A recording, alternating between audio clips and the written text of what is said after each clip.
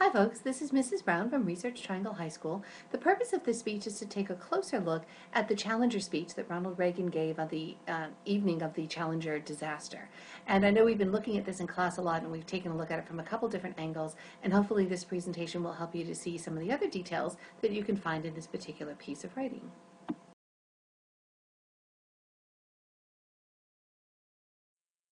Take this kind of paragraph by paragraph and kind of chunk by chunk and see what's going on. Now we already talked about kind of the SOAPS of this. This is that rhetorical situation, um, Aristotle's rhetorical triangle. So we know the situation, we know that uh, the audience, we know what was going on with the occasion, and we know a little bit about the purpose that Reagan had. He had to come out and calm everyone down and soothe the country and make everyone feel good again after this terrible disaster.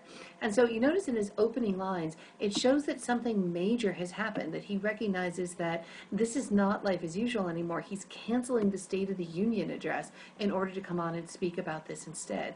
And it kind of also reminds the audience that this is the President of the United States who's speaking. This is the leader who is making this decision and who is going ahead and has the authority to do this. So you get this ethos sort of established right in the very beginning of the speech.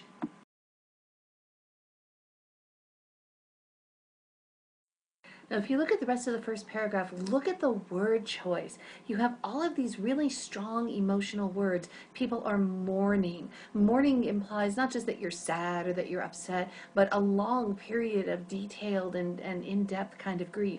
Remembering. Um, all of these imply this idea of something that's long-term and that's serious. Notice he mentions his wife by name. He says Nancy and I, not the First Lady of the United States or Mrs. Reagan, but she's introduced as Nancy. Like, of course it's Nancy we know each other, establishing this kind of credibility. This is this ethos again to establish with your audience. And it makes it sure that he shares the grief. It makes it both personal and national by saying that the President of the United States shares in this loss.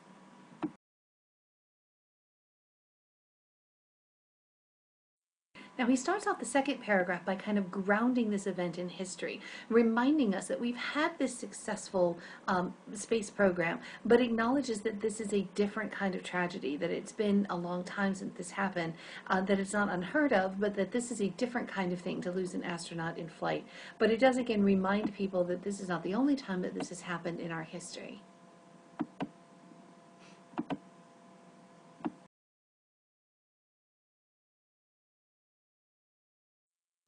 Now the rest of paragraph two, he spends some time on these emotion-laden words again. Courage and heroes. Um, all of these have these kinds of connotations of this sort of nobility. And those are very specific choices of words here to give that kind of, um, create the kind of pathos for the audience. He names each one of them, calls them out by name, and then reminds us that we mourn their loss as a nation together. Not I, as their president, am sad, like I'm sorry for everyone else that's going through this, but makes it a corporate event that is happening.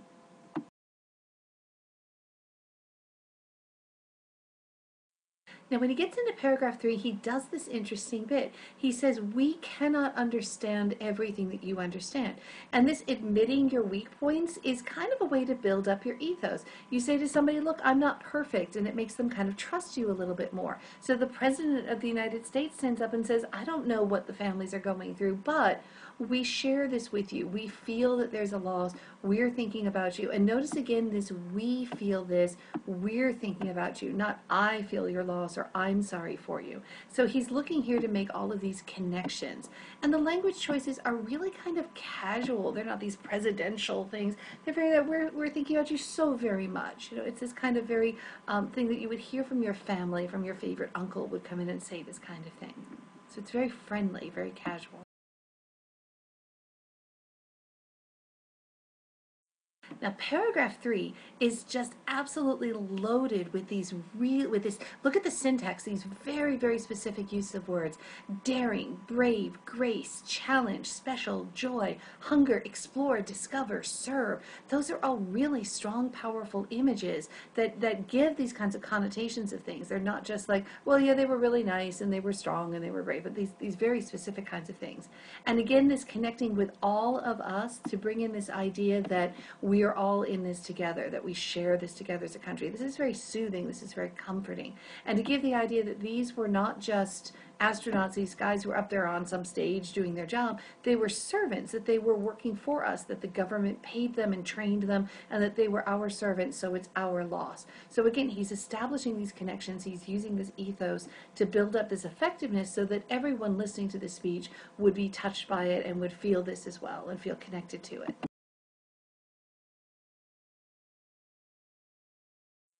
Now, in paragraph four, he does something interesting. He sort of laid the seeds for this, but he starts making these connections between the past and the future. So, not just that we've had this terrible tragedy and life is awful right now, but that we were taken by surprise, that really we live in a world where all this great stuff happens, and reminds us that we've had 25 years of being successful of that.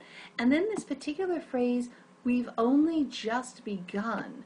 Now, this is a time when, you know, something terrible has happened. He's not talking about shutting down the program. He's not talking about maybe we shouldn't be going in space, maybe this is too dangerous, maybe it's too expensive, maybe we don't know what we're doing. Instead, it implies this future. We've only just begun is this idea that we're moving forward, that this is not an ending, even though we've had this terrible tragedy.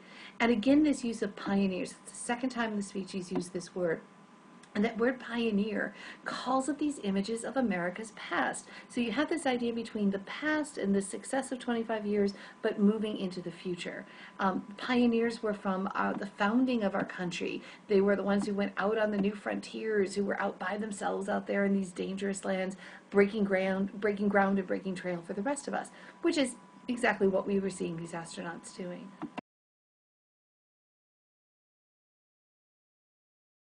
Now, in paragraph five, we get to the O in SOAPS and the A in SOAPS, where he starts to realize that on this occasion, he's not just talking to the grown ups around the TV, but this was, again, when this um, was the first teacher in space. So there were all of these schools and school children who watched this disaster live on TV. These kids who probably would never have seen this, wouldn't be watching the news at six o'clock, but because of this particular um, teacher that was going into space for the first time, all of these classrooms were connected and watching these people blow up live on television.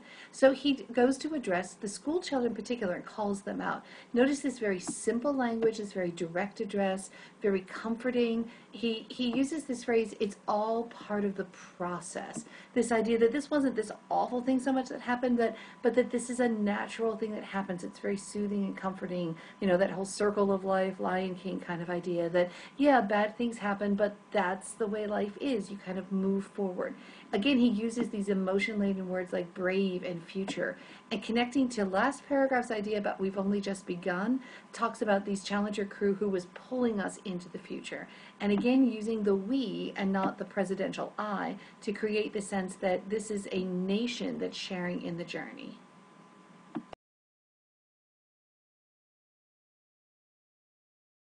Now, paragraph six is a little bit different. There's a distinct change in tone, and this would help if you understand a little bit again about the rhetorical situation.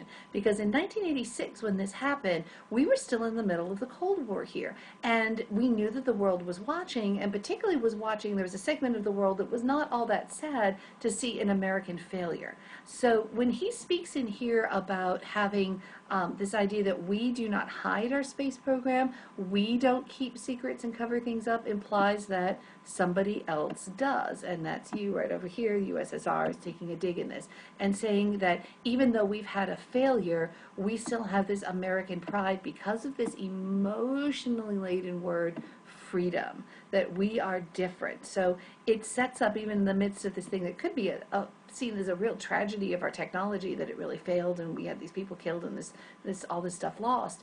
Um, in the middle of this, it says, but this is something to take pride in, that we don't hide from this. We show the world what we did. We don't keep secrets. We are a free country. We admit our mistakes. And because of that, we move forward. So he's building up this idea of American pride and kind of taking a little dig at the Soviet Union in the middle of this, um, this otherwise emotional speech. Here we get this little bit of political play going on.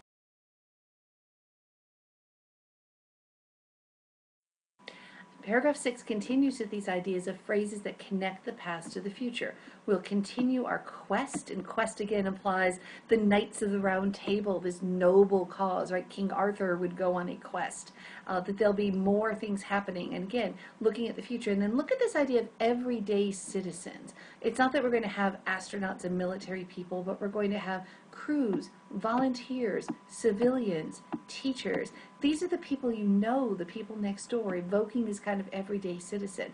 And once again, we see through the whole thing, we're getting this first person plural in everything. It's our hopes and our journeys, not their hopes and their journeys, but all of us together to build this kind of sense that we are a community even through this tragedy.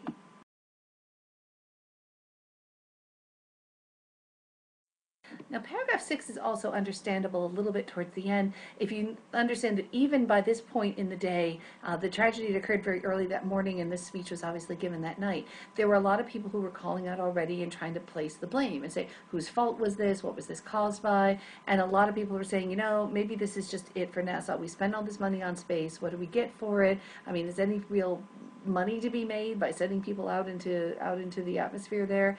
And so you see Reagan here in this point trying to start to build these connections again, that's using that ethos again, but also puts in a little bit of separation by kind of making it clear that NASA is the people who are responsible. He says every man or woman who works at NASA and worked on this mission and tells us there and says, okay, I know you guys are the ones who did this.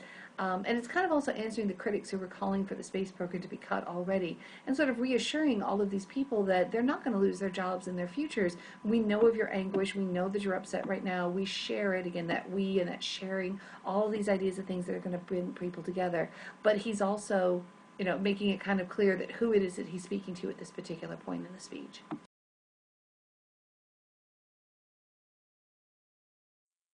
Paragraph 7 goes into this historical reference. And again, notice this theme of connecting things from the past to the future. So we're not going to be stuck here. We rest on all of the all of the great triumphs and, and things that we've learned from the past, but the whole trajectory is to move forward into the into the future here with these ideas. And he creates this metaphor by referring back to Francis Drake, where just like the sailors of the old days would sail on the sea, now we have the astronauts in space. So you have this metaphor that's set up. And again, these really, really strong emotional laden words explorer, frontier, dedication, complete. Uh, these are really strong words that evoke all of these kinds of images in our mind um, of all of these kinds of brave and daring people from our country. And this idea about what we say about Challenger, their dedication was like Drake's complete he's bringing closure to this idea and meaning to the lives. The lives were not wasted. This was a completion of their mission.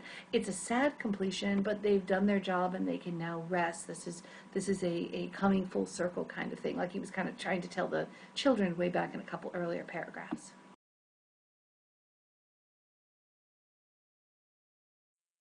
Now, the final paragraph closes with this really strong imagery. This is a literary allusion to a poem, and I'll, and I'll include the poem in the other handout for you.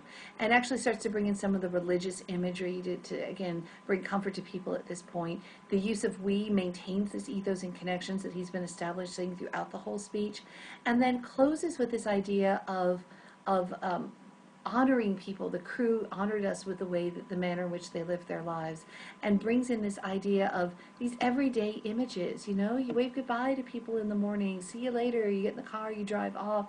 But that everyday sort of waving sort of touch is contrasted with the next touch, which is to touch the face of God. So connecting that everyday um, kind of corporal thing that happens to this idea of the the ending of life and this idea of what you're going through into eternity and into an unknown future, but the idea that they've landed into a comforting place from this bit and slipped the surly bonds of earth to touch the face of God.